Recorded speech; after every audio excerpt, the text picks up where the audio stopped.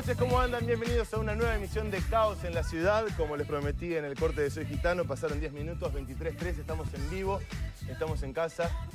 Uno de los temas que van a dar vuelta por este programa es lo que está pasando en la provincia y en la ciudad de Santa Fe. La semana pasada te mostramos cómo es perderlo todo, hoy te vamos a mostrar cómo es defenderlo y cómo es volver. Y siendo clase media, ver que perdiste absolutamente todo, entre muchas otras cosas. Buenas noches, panel. Buenas noches, Ronnie Arias. ¿Qué tal, Juan? Buenas noches, panel. Señora, no está flasheando. Somos nosotros vestidos como los X-Men. No sé si puede ver a mis compañeras. Somos nosotros, así que bueno, bienvenidos a casa. Espero que disfruten el programa. Carlita Chutnovsky, ¿cómo anda? ¿Cómo le baila? Muy bien, buenas noches, Juan. Buenas noches, panel. Hoy probablemente una de las noticias relacionadas con el sexo tuvo que ver con el rechazo de la Cámara de Apelaciones del pedido del grupo Swinger de tener personería jurídica argumentando que atentaba contra la fidelidad. ¿Qué es la fidelidad?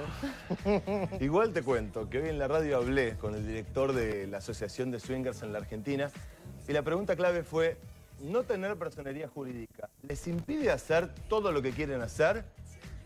A mí, me dijo que no. A mí, este, en realidad, o sea, no les impide ser. Igual en, esto tiene que ver con el reconocimiento de lo que uno quiere con un montón de otras personas con otras preferencias sexuales. Lo que a mí, en lo personal, me molesta es medio el argumento gorila, ¿no? Porque en todo caso me parece que infidelidad tiene que ver, por ejemplo, con un padre de familia, un señor casado que a lo mejor contrata un servicio de prostitución o tiene una relación con su secretaria y no dos personas adultas que de común acuerdo están con otras dos personas adultas que están de acuerdo. Igual una cosa es el argumento moralista y el otro el realista que tiene que ver con nada lo impide. Me parece a mí estamos todos abiertos a recibir opinión. Qué quilombo que armaste, nena. ¿Cómo andás, María Julia Oliván? Hola, Juan. Hola, chicos. ¿Qué tal? Sí, hoy vamos a hablar un poquito, hicimos un informe para contar qué es lo que pasó con el informe que mostramos la semana pasada. Pasó de todo, todos se subieron a ese informe, hablaron de ese informe, hubieron peleas entre los dos candidatos, entre Kirchner y, y Menem, entre Dualde y Menem. Bueno, hoy vamos a mostrar un poquito lo que pasó con eso.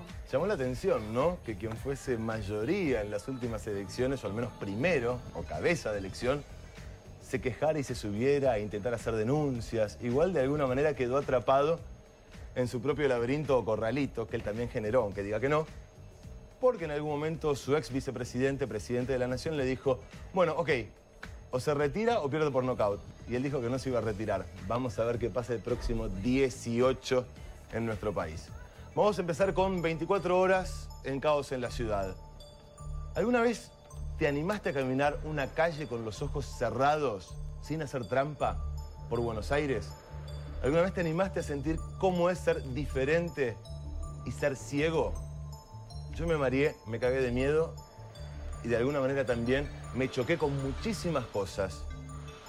Dos de cada mil personas, según un dato del año 1990, no ven en la Argentina. Conozcamos a dos.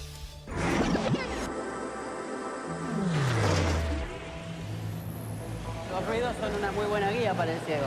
Fíjate cómo se escucha distinto acá. Hola. ¿Ves? Totalmente. ¿Escuchás el eco? Eso te da una idea de que es una entrada de garaje.